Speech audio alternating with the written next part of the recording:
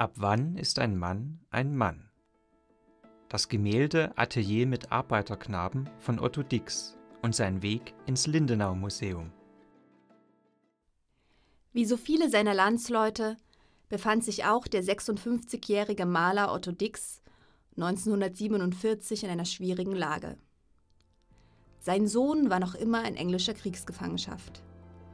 Er selbst saß in seinem Haus in Hemmenhofen am Bodensee, ein idyllisches Fleckchen, wo allerdings ebenso wie im übrigen Deutschland der Nachkriegsjahre Mangel herrschte.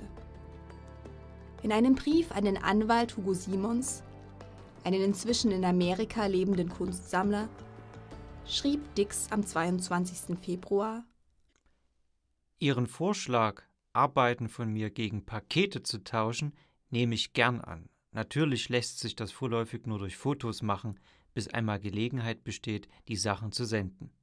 In Paketen ist Tee, Kaffee, Kakao und Fett erwünscht. Natürlich auch Fleisch, aber das geht leider so schnell weg. Und ein Pfund Kaffee reicht lange. Nach einem kümmerlichen Essen, es besteht immer aus Kartoffeln und Gemüse, ist Kaffee wie eine Versöhnung mit dem Leben. Vielleicht wundern Sie sich darüber, dass ich an erster Stelle sogenannte Genussmittel nenne, aber das Essen ist derart langweilig, ungewürzt, auch die Gewürze fehlen, dass man sich wie eine Kuh vorkommt. Um seine Situation durch den Verkauf oder den Tausch seiner Arbeiten zu verbessern, wandte sich Dix auch nach Dresden. In der Stadt an der Elbe hatte er studiert und später eine Professur an der Kunstakademie bekleidet. Dort war 1914 das Gemälde Atelier mit Arbeiterknaben entstanden. Das Porträt, eines der Highlights in der Sammlung des Lindenau Museums, stammt aus der kurzen expressionistischen Phase des Künstlers.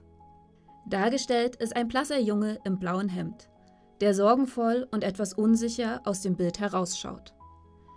Kerzengerade steht er, die Hände vor dem Körper verschränkt, im Zimmer des Malers.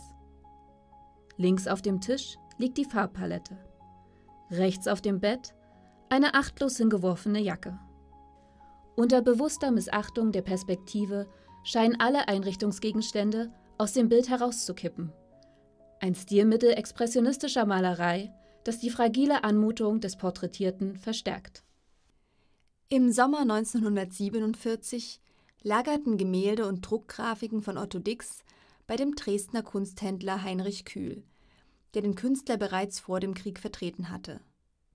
Auf einer Liste vom 19. Juli sind verschiedene 1914 entstandene Gemälde verzeichnet.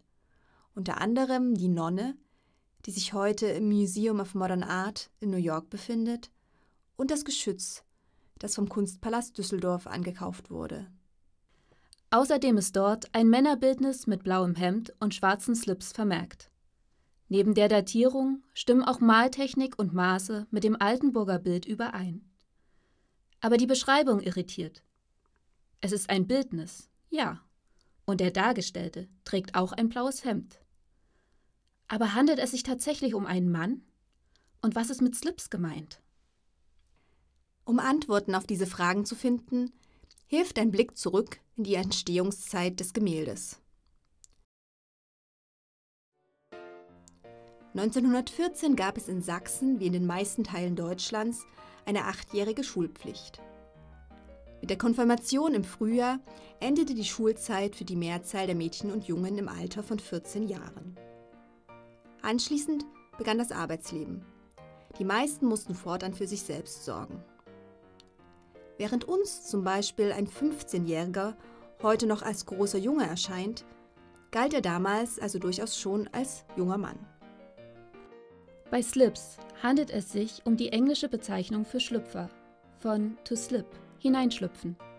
Mit Slips wurden in Deutschland ganz allgemein Unterhosen bezeichnet, nachdem um 1900 Gummibänder in Gebrauch gekommen waren, die am Hosenbund vernäht ein rasches Hineinschlüpfen ermöglichten. Vorher besaß Unterwäsche keine Gummizüge, sondern musste aufwendig mit Stoffbändern, Schleifen und Knöpfen festgehalten werden. Die praktischen Hosengummis fanden erst nach und nach in allen Gesellschaftsschichten Verbreitung. Gerade Ärmere mussten sich noch lange auf die althergebrachte Weise behelfen, zum Beispiel mit einer Kordel im Bund oder Hosenträgern, wie bei dem jungen Mann auf unserem Bild. Wie ein Abgleich mit dem Werkkatalog der Dix-Gemälde zeigt, trifft die Beschreibung Männerbildnis mit blauem Hemd und schwarzem Slips im Verein mit den Bilddaten auf kein anderes Gemälde zu. Verfasst wurde der Werkkatalog von Fritz Löffler, einem bekannten Dresdner Kunsthistoriker und Vertrauten des Malers, der mit dem Galeristen Heinrich Kühl in regem Austausch stand. In dem erstmals 1960 erschienenen und mehrfach wieder aufgelegten Katalog ist das Altenburger Bild unter dem Titel Arbeiterjunge verzeichnet. Zum Jungen wurde der Mann aber bereits früher. Das Porträt, das aller Wahrscheinlichkeit nach 1947 zur Kunstausstellung Kühl gelangte, bot Heinrich Kühl dem Lindenau Museum im Oktober 1953 als Interieur mit Jungen an. Hans Konon von der Gabelenz, der damalige Direktor des Lindenau Museums, ging zunächst nicht weiter auf das Angebot ein. Erst in einem Brief vom 22. Mai 1954 erwähnte er es wieder und bat Kühl nun darum, das Bild zur Ansicht nach Altenburg zu schicken. Drei Tage später berichtete der Galerist Gabelenz vom Versand des Gemäldes und fügte hinzu: Otto Dix ist ja zurzeit gerade in Dresden. Er war vor Tagen bei mir und sah auch sein Bild wieder, und er verspürte nunmehr wohl Neigung, es am liebsten für sich wieder zurückzuerwerben. Wenn es aber nun in ein Museum kommt, wird er doch nur Freude darüber empfinden. 1000 deutsche Mark bezahlte das Lindenau Museum für das Porträt des Arbeiterjungen. Denselben Preis, den Kühl in seinem Brief vom 22. Oktober 1953 angegeben hatte. Ein Schnäppchen, wie sich herausstellen sollte.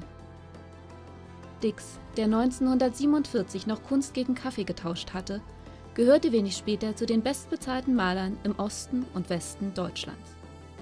Aber das ist eine andere Geschichte und soll ein andermal erzählt werden.